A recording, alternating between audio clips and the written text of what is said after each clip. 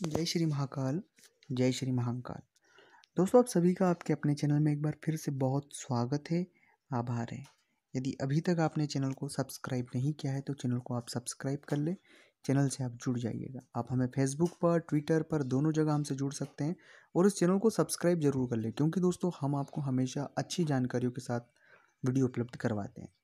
और निःशुल्क ज्योतिष परामर्श भी आपको हम उपलब्ध करवाते हैं। बहुत सारी यूनिक जानकारी आपको मिलती है। तो इस वीडियो में हम बात करने तो हम इस वीडियो में बात कर रहे हैं, आपके नाम वाले लोग कैसे होते हैं जातक कैसे होते हैं, उनके बारे में हम जानकारी आपको बताएँगे। सबसे पहले आपका भावनात्मक पहलू बहुत बहुत आप संवेदनशील है। आप किसी भी व्यक्ति की बात को बहुत गंभीरता से सुनते हैं, सुनने के बाद उस पर प्रतिक्रिया देते हैं। लेकिन कई बार होता क्या है कि आप किसी वे को बहुत अच्छे से समझ कर जो सही जवाब आप उन्हें देते हैं, लेकिन उसे वो उनकी इज़्ज़त, उस जवाब की वो इज़्ज़त नहीं करते या आपके जो सहयोग की वो इज़्ज़त नहीं करते हैं, ये कंडीशनें आपके साथ हमेशा बनी रहती है कि आप पूरी ईमानदारी से किसी की मदद करना चाहते हैं, पूरी मदद करते भी हैं। लेकिन जो सामने वाला व्यक्ति या तो आपको धोखा दे देता है या आपके साथ कोई और चोट कर जाता है, ये परेशानी आपके साथ बिल्कुल देखी होगी।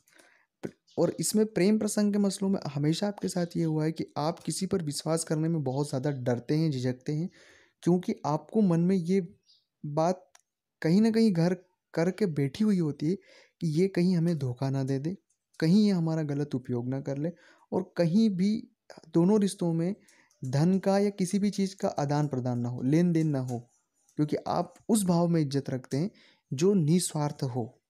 मेरी बात फिर से सुन लीजिएगा।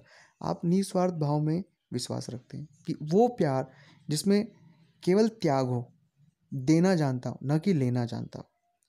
ये बिल्कुल प्रैक्टिकली आपसे मैं बात शेयर कर रहा हूँ और ये बात बिल्कुल सौ प्रतिशत सही है।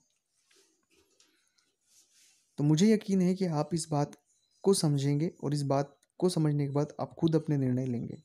तीसरी बात है, फैसले भावनात्मकता में बहकर कभी मत लीजिएगा, क्योंकि भावनात्मक में बहकर कई बार बड़ी बड़ी परेशानी आपके साथ खड़ी हो जाती है। चौथी बात है थोड़ा आलस्य है, लेकिन उस आलस्य का त्याग करें आप। कोशिश कर सकते हैं अगर उस आलस्य का त्याग करने का तो आपको बहुत बड़े फ़ायदे और बहुत बड़े परिणाम आपको देखने को मिल सकते हैं।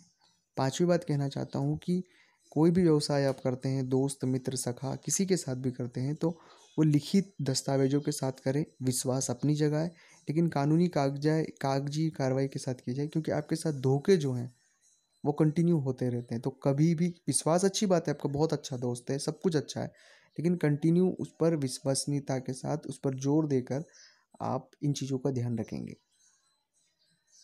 छठवीं बात कहना चाहूँगा, धन का संचय ज़रूर करें आप, धन को बचाने की एक आदत अपनी है आप में, उसे आप हमेशा बचा के रखें।